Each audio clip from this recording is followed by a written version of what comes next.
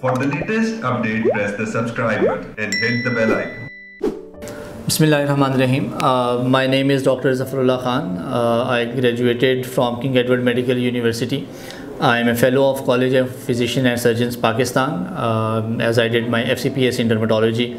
Uh, I have certification from uh, American Academy of Aesthetic Medicine as well.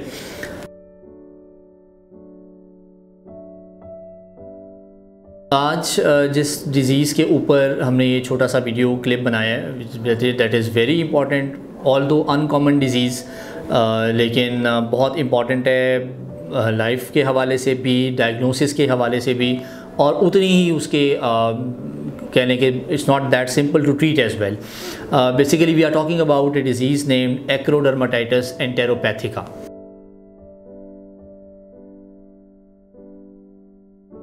چھوٹے بچوں میں common ہوتی ہے، عام طور پہ کیونکہ جینیٹک ڈیزیز ہے ارلی ایج پہ مینیفیسٹ ہو جاتی ہے۔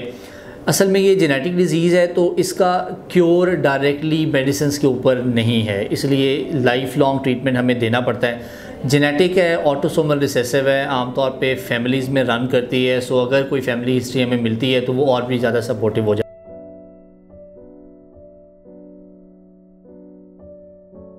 چھوٹے بچے یوزلی پریزنٹ کرتے ہیں with hair loss with chronic diarrhoea اور ان کو زخم بنتے ہیں ایگزیمیٹس لیجنز آتے ہیں، عام طور پہ ماؤتھ کے اراؤنڈ ہاتھوں کے اوپر، پاؤں کے اوپر جینیٹل ایریا کے اوپر اینس کے اراؤنڈ بہت دفعہ یہ ڈیزیز امیجیٹلی ڈائگنوز نہیں ہو پاتی ہے. بہت سارے ڈاکٹرز کے تھرو ایون ڈرماٹولوجسٹ کو بھی تھوڑا سا ڈیٹیل میں دیکھنا پڑتا ہے اس کو ڈائگنوز کرنے کے لیے، کیونکہ میمکری اس کی بہت زیادہ ہے اور عام طور پہ ہم اس کی اور کازز سوچ رہے ہوتے ہیں، کیونکہ دس از ان کامن جیسے میں نے پہلے بھی ذکر کیا۔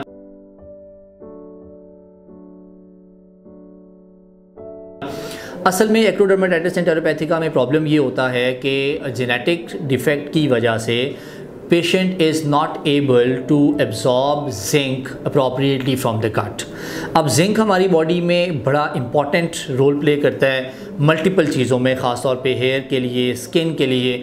تو اس وجہ سے ہیئر لاس بھی ہوتا ہے اسکن کے اوپر ریش بھی آتا ہے فوٹو سینسٹیوٹی بھی ہو جاتی ہے، بچے کو ڈائریا بھی ہوتا ہے۔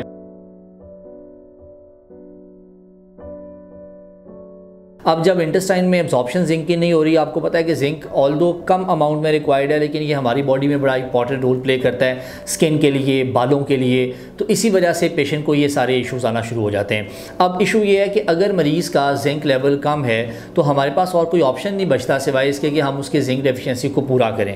یوزلی جیسے ہمارے پاس فیمیلز آتی ہیں انیمیا کے ساتھ ہیموگلوبن کم ہوتا ہے آئرن کی کمی ہے۔ ہم آئرن دیتے ہیں ایک سرٹن ٹائم کے لیے اور پھر اس کے بعد نارمل ڈائٹ سے وہ چیزیں ریکور ہونے شروع ہو جاتی ہیں۔ تو زیادہ عرصے تک ہمیں دوائی نہیں دینا پڑتی۔ یہ ایسا نہیں ہے۔ اس کیس میں چونکہ پیشنٹ ایبزارب ہی نہیں کر پا رہا زنک تو ہمیں لائف لانگ اس کو زنک تھراپی کے اوپر رکھنا پڑتا ہے۔ اور چونکہ یہ لائف لانگ ٹریٹمنٹ چلتا ہے، تو اس لیے اس اویئرنیس کے لیے ہم نے یہ ویڈیو بنائی ہے کہ آپ کو پتہ ہو کہ جب پیشنٹ پریزنٹ کرے، آپ کے بچے کو خدا نہ خواستہ آپ کو ڈائریا ہے جو ٹھیک نہیں ہو رہا، کوئی ایسے لیجنز ہیں منہ کے اراؤنڈ جینیٹلس کے اراؤنڈ اینس کے اراؤنڈ جس کی آپ ملٹیپل ٹائمز اپنے جی پی سے جنرل پریکٹیشن سے دوائی لے چکے ہیں، لیکن اس وہ رسپونڈ نہیں کر رہا۔ بچہ تو definitely you need to visit a dermatologist qualified dermatologist تاکہ اس چیز کو مائنڈ میں رکھیں کہ اگر وہ ایکروڈرماٹائٹس ہے تو اس کو ٹائم پہ ایڈریس کیا جائے۔ اگر ہم اس کو ٹائم پہ ایڈریس نہیں کریں گے تو یہ ایٹ ٹائمز لائف ٹیکنگ ہو سکتی ہے اس بچے کے لیے، اور یہ میزریبل سچویشن ہوتی ہے بچے کے لیے بھی پیرنٹس کے لیے بھی۔ اور میں سمجھتا ہوں کہ میڈیکل کمیونٹی کے لیے بھی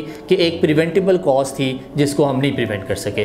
تو this video was made actually with this thing in the mind to create awareness regarding acrodermatitis enteropathica otherwise zinc کے جو کامن پھر ایسے بچے کو ایسی ڈائٹ ہم نے دینی ہے جو زنک میں رچ ہوتی ہے اس میں پالک ہے جیسے لیفی ویجیٹیبلز ہیں گوشت ہیں انڈے ہیں ایون دالیں ہیں تو یہ وہ چیزیں ہیں جس میں زنک ہوتی ہے نیچرل فروٹس ہم نے اس بچے کو دینے ہیں تاکہ ہم اس کی زنک ڈیفیشنسی کو اچھے طریقے سے کور کر سکیں so this is what I need to tell you about this disease briefly thank you very much تو اگر ایسا کچھ آپ آبزرو کرتے ہیں خدا نخواستہ اپنے کسی بچے میں یا کسی ریلیٹیو کے، کسی عزیز کے بچے میں، تو you can definitely consult team of dermatologist you can consult me through Marham any time whenever feasible whenever required we are always available thank you very much